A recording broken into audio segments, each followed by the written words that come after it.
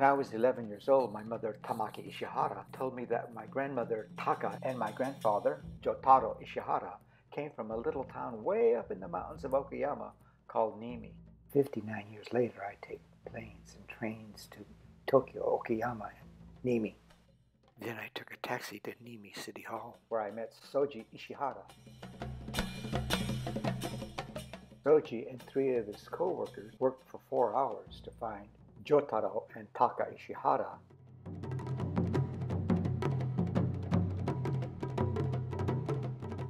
Out of gratitude, I offered to take Sohji to dinner, but he said, No, I'll take you home to meet my father.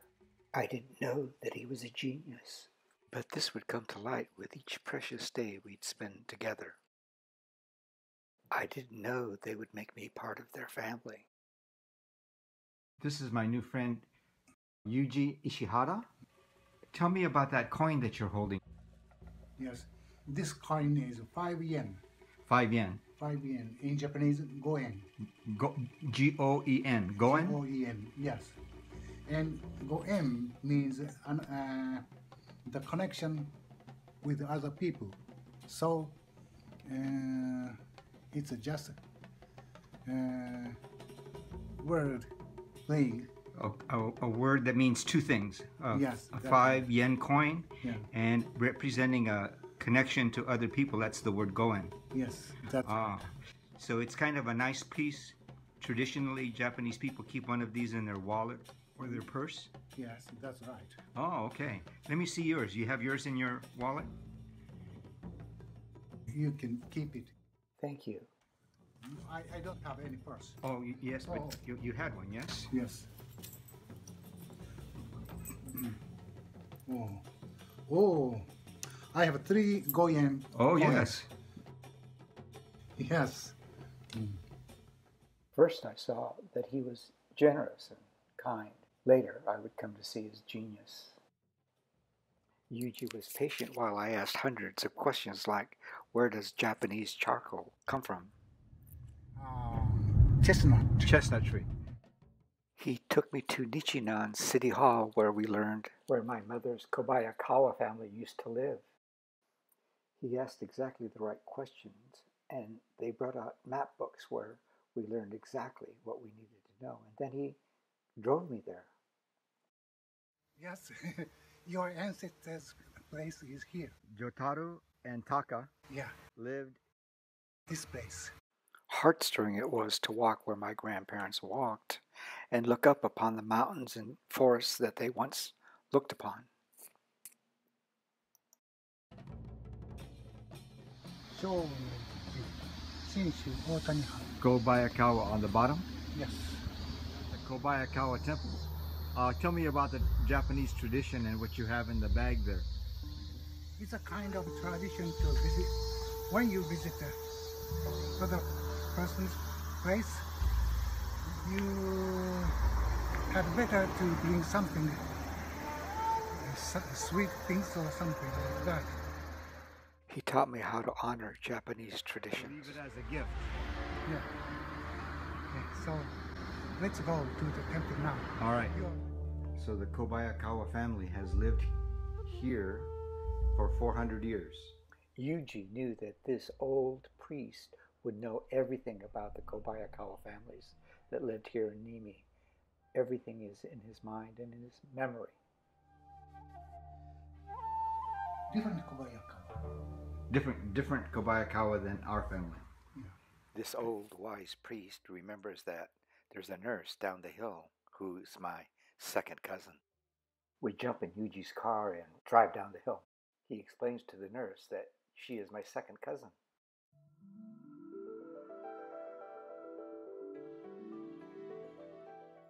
Imagine it's a challenge for Kyoko to understand that we're second cousins. Yuko is a Kobayakawa. Thank you, Yuji. It turns out that Kyoko's grandmother and my grandmother are the same person, Taka Kobayakawa. Skeptical at first, Kyoko warms up to the idea. She makes a call and we have dinner with her brother, Yutaka. The next day, I meet Koji, her son, and his family. We have come here to Konzoji Temple in search of more information about Jotaro Kobayakawa's side of the family. We are still in Niimi? What's the name of the temple here?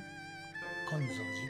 Go ahead and put away these things here, and then we'll go. Okay, good. Yuji has just discovered that Jotaro Kobayakawa's family is just up the road, maybe five minutes from Konzoji Temple.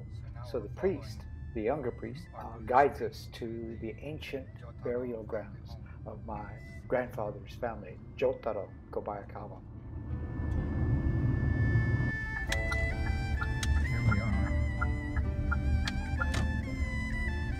It's very close to Kyoko's house.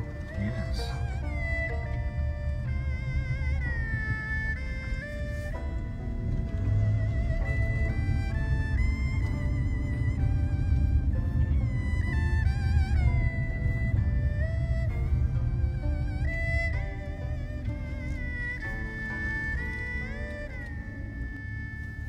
Inside, we find Mutsumi Kobayakawa, her husband Mitsuharu Kobayakawa, and I have the same great grandfather, Kitaro Kobayakawa.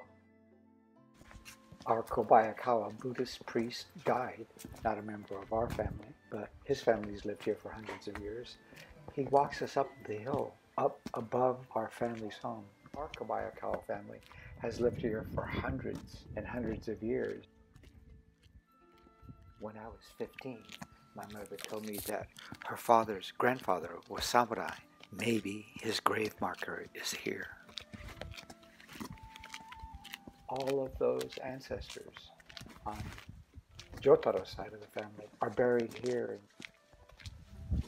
And the farther we go, the more ancient are the burial monuments. And you can see in the second row, behind these rectangular monuments, are the round stone monuments of our ancient, ancient ancestors.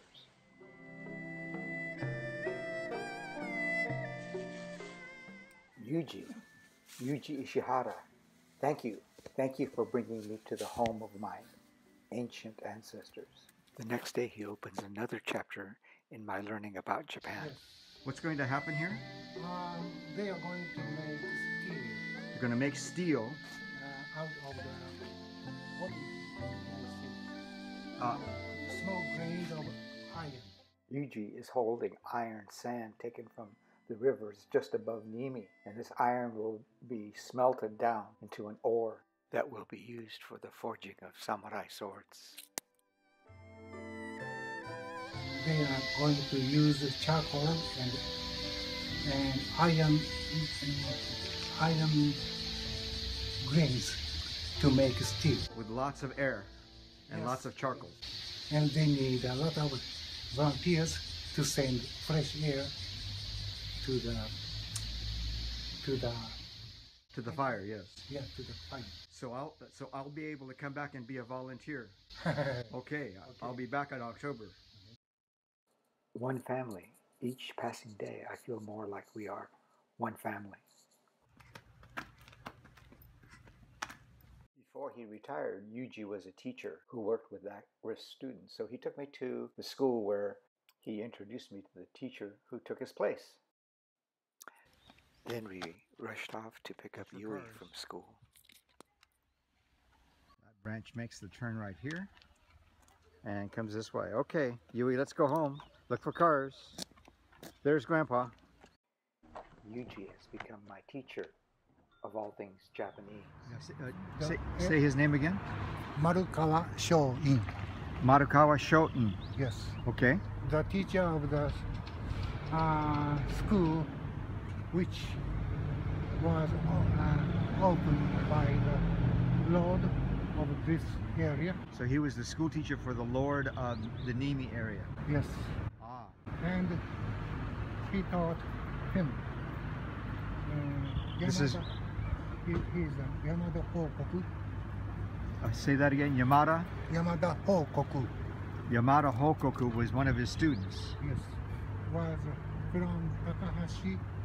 Ah, from Ah. Takahashi. Yeah, That evening, Sohji gives me this key, making me an honorary member of his family. So this is Yuji's family record Mhm. that's kept inside. The name of this in Japanese? What is this called? Uh, kakocho. Uh, this, this kind, Yes. uh, butsudan. Butsudan means uh, art, altar.